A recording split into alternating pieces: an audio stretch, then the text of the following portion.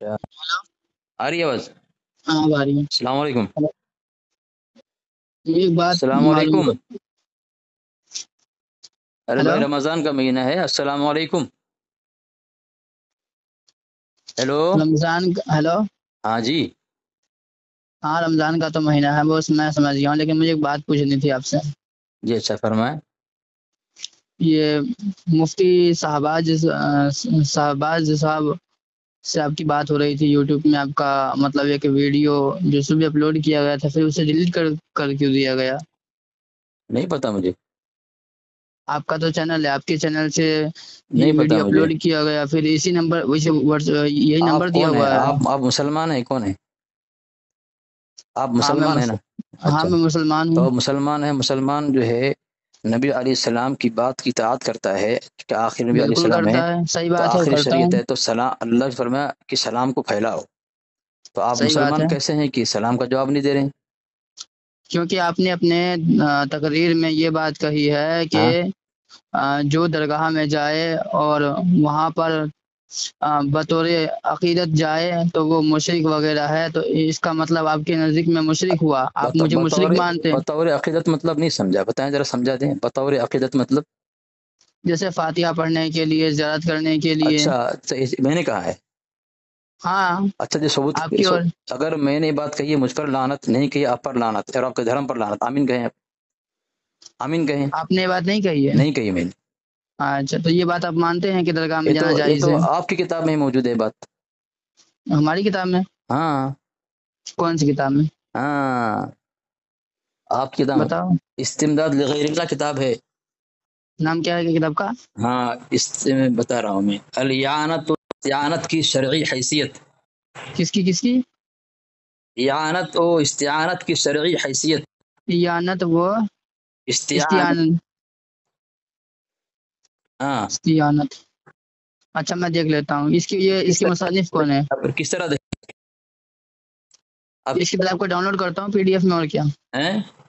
PDF download करता तो हूँ इस किताब की। सुने ना उसमें तो लिखा हुआ है उसमें बात लिखा हुआ है कि साहिब कब्र सामने अपनी हाजत मुराद ऐसा है जैसा कोई पुजारी अपने बुद्ध के सामने अपनी मुरादें और हाजतें माँगता है। ये इसके राइटर कौन है? हैं? राइटर कौन है? नसीरुद्दीन नसीरुद्दीन सियालवी। नसरुद्दीन सियालवी ये मज़हब अहले सुन्नत मसलक की आला हज़रत से इनका ताल्लुक है। ये बरेलवी से ताल्लुक है। हाँ? बरेलवी बरेलवी मसलक से ताल्लुक रखते हैं ये।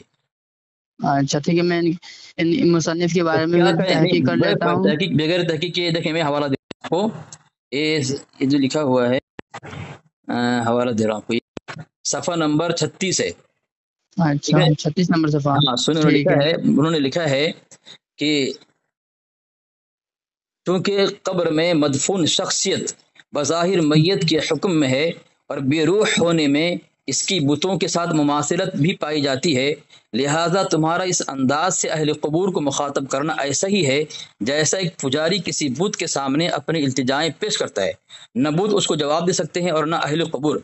लिहाजा जिस सूरत में ज़ाहिर की पुजारियों और अहल कबूर की बुतों से मुशाबत ममासलत पैदा हो जाने का इम्कान हो तो इस सूरत से भी एक मुआहिद को इजतनाब करना ज़रूरी है, क्योंकि इबहाम शिरक तो कुजा जहाँ इबहाम इहा में शिरक हो वहाँ भी एहतियात लाजिम है। ठीक है? हाँ तो इस तो किताब को मैं पहले देखता हूँ शिरक का शिरक। तो आप उनको मुशरिक कहें पहले। मेरे मुतालिक बगैर क्या मुझे कह दिया कि मैंने ऐसा कहा। मैं आज तक किसी वॉइस में ऐसा नहीं कहा है कि जो जो कब्र पे जाए मज़ार पे जाए फातिहा पढ़ने या इसाल सवाब करने। वो जो है मुशरक अस्तफ़ुल्ला मेरा भी अकीदा है कि साहिब कब्र या मज़ारात पर इसाल सवाब करना चाहिए ज़ियारत के लिए जाने चाहिए। अल्लाह के नबी अलैहिस्सलाम की हदीस हमारी जो मशहूर मारूफ किताब है फ़ज़ाइल आमाल उसके अंदर बात लिखी हुई है कि कब्रस्तान जाया करो आखिरत याद आएगी। और आप मुझ पर इस तरह इतना बड़ा भुगतान बाँध रहे हैं बदनाम करने के लिए? बगैर मतलब आप के आप आप आप, चैनल चलाते हैं ना? नहीं मैं चैनल नहीं चलाता मैं आपका यूट्यूब देख रहा था। नाम क्या है? मेरा नाम इमरान है। इमरान है। तो आप बगैर तहकीक के। किस तरह इल्ज़ाम लगा सकते हैं आप लोग? नहीं मैंने सुना है आप नहीं मैंने सुना है इसलिए मैंने पूछ लिया। अच्छा कुरान की आयत पता है या अय्युहल्लज़ीना आमनू जो है इंजाकुम फासिकुम बिनबयिन फतबयिनु अन तुसीबु। कुरान ने हुक्म दिया किसी के मुताबिक कोई खबर सुनो पहले तहकीक करो ताकि तुमको निजामत ना करना पड़े। तो इसीलिए तो तो इसीलिए तो मैंने आपको फ़ोन लगाया पूछने के लिए कि क्या मामला है जो बातें तो मैंने आपको पूछा तो आपने इल्ज़ाम लगाया आप तो उसकी सजा के बारे में बात कर रहे थे। तो आप पहले इसको मुशरिक कहे ना कि जो ऐसा कि साहब खबर के सामने जो मुखातब करना मुरादे मांगना ये बुतों के सामने मांगने की तरह है इज्तनाब करना चाहिए साहिब खबर को बुत कहा जाए बुत। हाँ तो पहले देख लो ना उस किताब को जिस किताब में लिखा हुआ है किताब कैसे देखेंगे आप? और भी बहुत सारे हवाले जाते हैं दूँ आपको? ये किताब हाँ। है ये किताब तरीकुल फलाह फ़ी मसलातिल कुफ्र निकाह ये भी नस्ल अच्छा। किताब है उन्होंने अजीब बात लिख दी है इसके अंदर। लिखा चौथा ये कि मुशरकिन के नज़दीक भी असनाम असनाम वसीला है असली दाता नहीं है। लिहाजा बाद लोगों का ये कहना कि फिर अलिया अम्बिया और असनाम में क्या फ़र्क हुआ? क्योंकि बुत परस्त असनाम को बुत परस्त असनाम को और बाज़ अहल अकीदत अहल अकीदत मुराद कौन है? ये अपने लोगों कह रहे हैं बेल भी लोग कह रहे हैं। अम्बिया अलिया को भी बतौर वसीला पेश करके काजी हाजात से अपने हाजात तलब करते हैं। इसका मकसद जवाब यह है कि असनाम मखलूक की तराशिदा है। असनाम क्या है? यानी बुत मखलूक का बनाया हुआ है। जो बेरूह और बेशूर हैं जबकि इंसान एक बुत सही। क्या इंसान एक बुत सही? यहाँ अम्बिया अलिया का नाम लिया गया है। और यहाँ वो बात कहा गया है कि इंसान एक बुत सही। यानी अम्बिया अलिया को बुत कहा गया है, मगर अल्लाह का तराशिदा है। अम्बिया अवलिया, जबकि एक इंसान, एक बुत ही सही, मगर अल्लाह ताला का तराशिदा है। और आगे आयत पेश किया अल्लादी का फसवा का फ़ादलक फ़ी अई सूरत माशा रकबक ये एजाज इस असनाम को हासिल ना हो सका और फिर ये इंसान इंसान ऐसा बुत है या उसकी वो सूरत है कि बकौल हज़रत गोलवी कहते हैं। तो ये इंसान ऐसा बुत और बनाया किसने? अल्लाह का तराशिदा है। अम्बिया अलिया अल्लाह का तराशिदा अल्लाह का बनाया हुआ और उसे बुत कहा गया है। बताओ क्या आपके नज़दीक अम्बिया इमामुल अम्बिया बुत हैं? और तो उनकी, उनकी, उनकी दरगाह मज़ार है।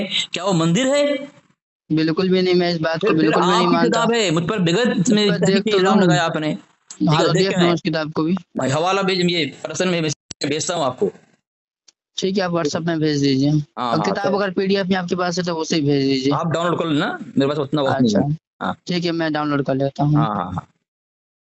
ये दियानतदारी से चले मसलक पर जो अहले हक उसी को अपनाएँ। आँख बंद करके किसी की तरफ़ न चलें। फिर आखिर में अंजाम भुगतना पड़ेगा आपको। ठीक है मेरी नसीहत मैं पहले किताब किताब डाउनलोड कर लूँ उसके हाँ, बाद हाँ, देखूँ हाँ, उसे। हाँ हाँ।